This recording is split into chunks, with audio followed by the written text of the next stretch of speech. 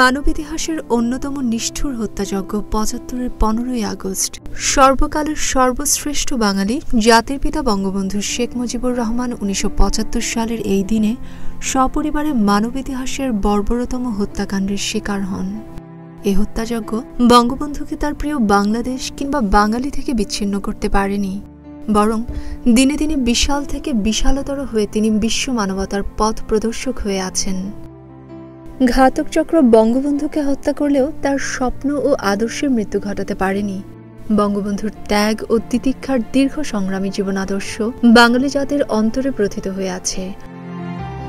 জাতির পিতার সহধর্মিনী বঙ্গমাতা শেখ ফজিলাতুন্নেসা মুজিব, পুত্র ক্যাপ্টেন শেখ কামাল, লেফটেন্যান্ট শেখ জামাল, দশ বছরের শিশুপুত্র শেখ রাসেল, পুত্রবধূ সুলতানা কামাল ও রোজি জামাল, বঙ্গবন্ধুর সহদর শেখ নাসের সহ পরিবারের আঠারো জন সদস্যকেও ঘৃণ্য ঘাতকরা এদিনে হত্যা করে। বঙ্গবন্ধু শেখ মুজিবুর রহমানের সামরিক সচিব কর্নেল জামিলও এদিনে নিহত হন।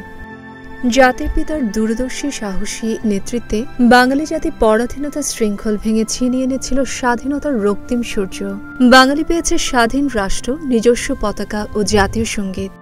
সত্য স্বাধীন যুদ্ধবিধ্বস্ত দেশে বঙ্গবন্ধু শেখ মুজিব যখন সমগ্র জাতিকে নিয়ে সোনার বাংলা গড়ার সংগ্রামে নিয়োজিত, তখনই স্বাধীনতা বিরোধী যুদ্ধাপরাধী চক্র তাকে হত্যা করে। এর মধ্য দিয়ে তারা বাঙালির ঐতিহ্য, সংস্কৃতি, কৃষ্টি ও অগ্রযাত্রাকে স্তব্ধ করার অপপ্রয়াস চালায়। তাদের উদ্দেশ্য ছিল অসাম্প্রদায়িক গণতান্ত্রিক বাংলাদেশের রাষ্ট্রকাঠামোকে ভেঙে আমাদের কষ্টার্জিত স্বাধীনতাকে ভুলুণ্ঠিত করা।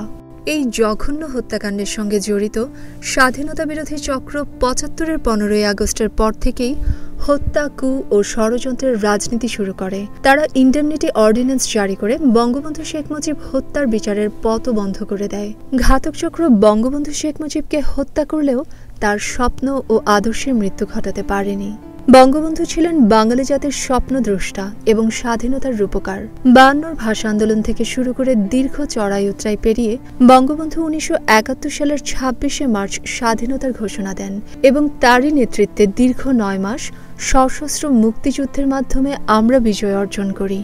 বঙ্গবন্ধু ছিলেন অসীম সাহসী হিমালয় সম অটল ব্যক্তিত্বের অধিকারী। ঘাতকদের মেশিন গানের মুখেও তিনি বজ্রকণ্ঠে প্রশ্ন করেছিলেন, তোরা কি চাস?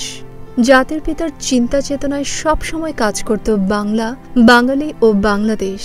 বঙ্গবন্ধুর রাজনৈতিক স্বাধীনতার পাশাপাশি জনগণের অর্থনৈতিক মুক্তি অর্জনের লক্ষ্যে একটি সুখী, সমৃদ্ধ, উন্নত বাংলাদেশ গড়ার স্বপ্ন দেখেছিলেন। যুদ্ধের ধ্বংসস্তূপ থেকে দেশকে স্থিতিশীল পর্যায়ে নিয়ে গিয়েছিলেন তিনি। একাত্তরের পরাজিত শক্তি তাকে হত্যা করে জাতির অগ্রযাত্রাকে থামিয়ে দিতে চেয়েছিল।